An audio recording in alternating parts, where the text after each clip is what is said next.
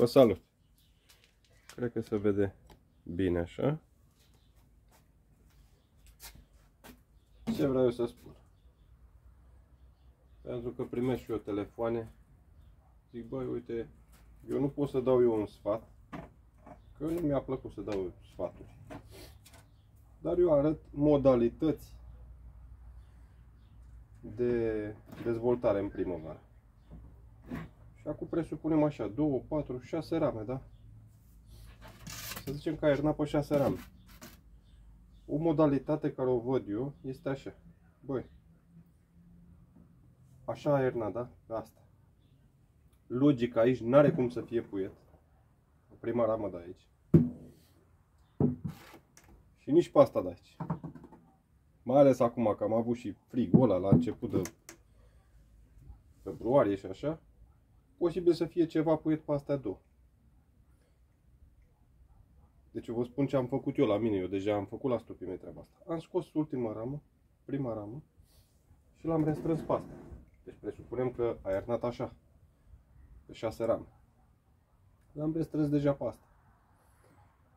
Da, într-adevăr, când l-am scos pe astea, era albină și aici și pe rama asta. Bun. Apoi, am venit aici cu diafragmă Normal că eu acolo am alte diafragme, nu astea. Sunt unele făcute de mine cu rol de stimulare, mă rog. Vin cu o diafragmă aici și ramele astea două care conține și albină, le-am pus după, uite așa. Și așa am venit cu diafragma de polistiren. Asta am făcut eu. Da, o să ziceți, păi, e stilul Blinov. Bun, Blinov. Dar eu am îmbunătățit pentru că diafragma care am făcut-o are rol de stimulare. Nu că mănâncă din diafragmă. Dar are rol de stimulare care s-a abonat la mine, a văzut acolo ce am făcut. Se poate pune o diafragmă și simplu așa, da? Bun. Cam asta am făcut eu. Ce am mai făcut? Am venit așa. Cu o turtă energetică de la Dulcufruct, una proteică. Proteica am pus-o peste cuib aici unde a fost mai în față, să zicem că era cuibul energetic aici. Apoi, am venit, uite așa, cu crâpă, pânză de, pânză de bumbac, nu sintetic. Uite așa. Și apoi, uite așa, cu păturic. După asta, pădișorul, uite așa.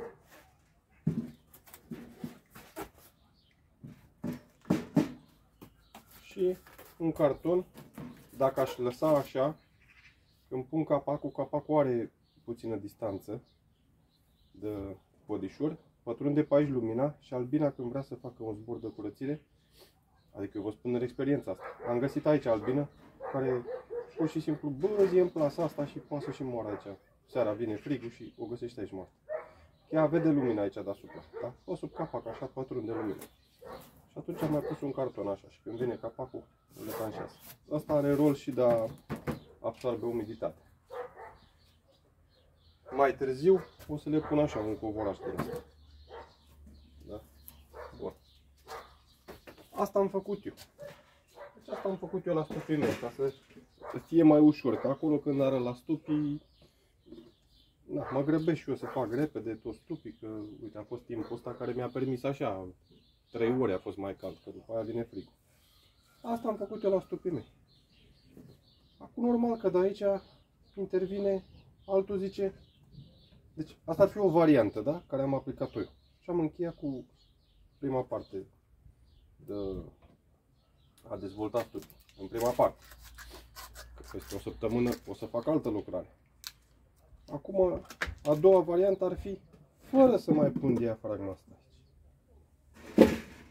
Adică sunt alții care așa procedează. Exact așa cum a ernat, presupunem asta e prima ramă, asta e ultima, în jumătate poate e puțin puiet, adică nu-i face nimic. Decât a săltat ce are el acolo învelit, nu știu ce a avut, și vine frumos, uite așa, cu două turte din asta. Așa, și am adus o folie, că n-avea. Deci după ce a pus turte așa, vine cu folii. Și apoi cu podișorul și posibil poate pune aici un covoraș ceva sau mai e varianta să-i pui aici niște cârpe peste, da?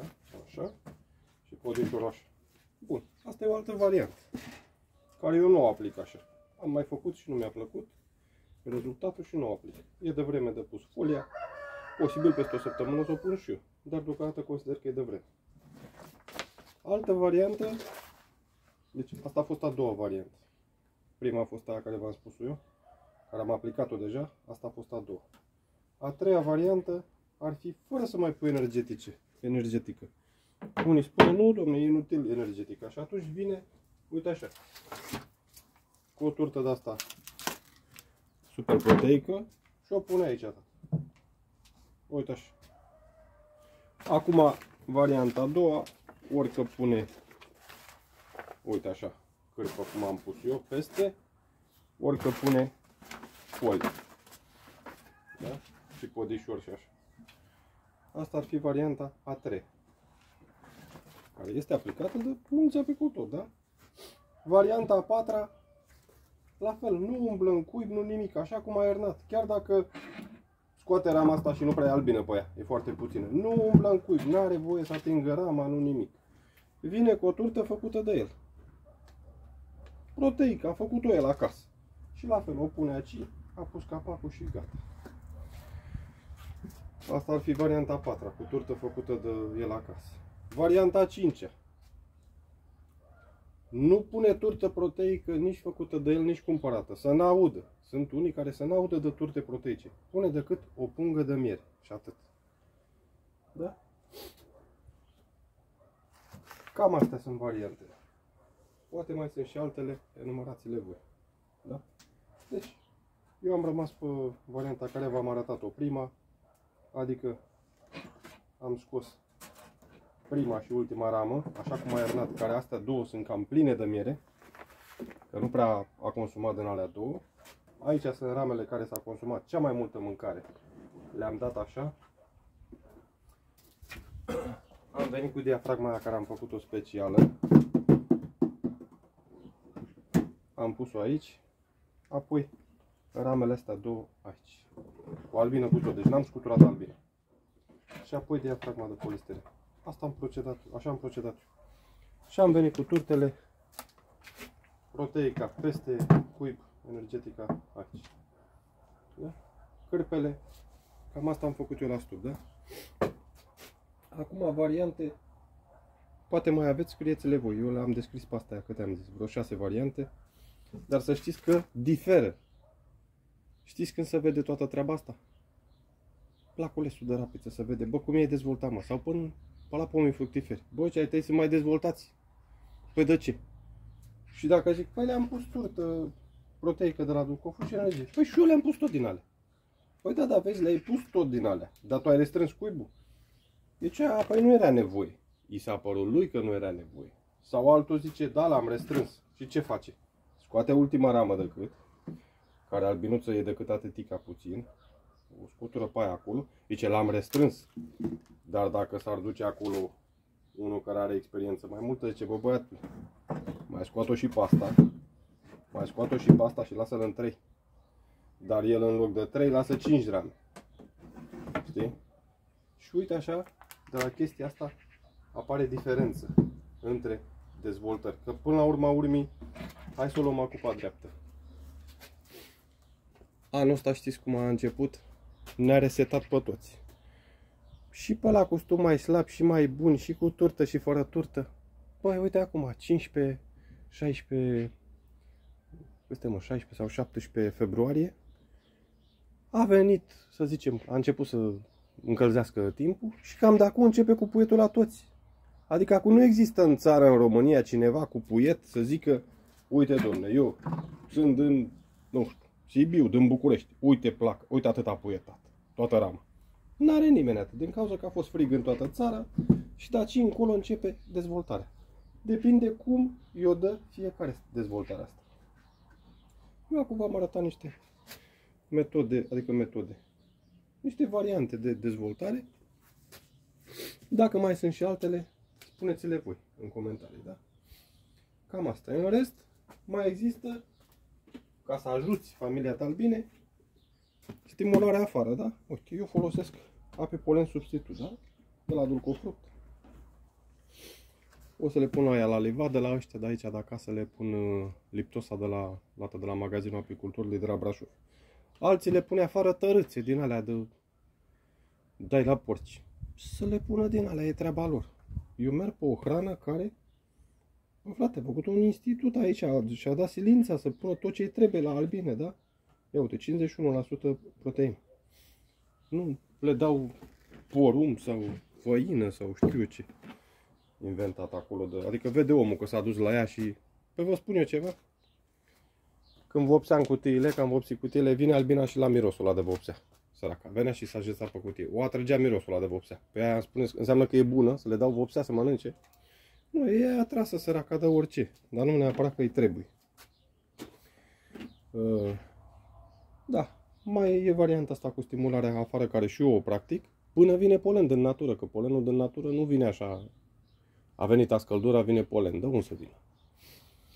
Cornul, s-ar putea să înflorească cornul, uh, nu știu sigur dacă a început sau nu, dar dacă l-ai în zonă, lângă tine, dacă nu l-ai, uite așa, le dăm și noi stimulente din asta.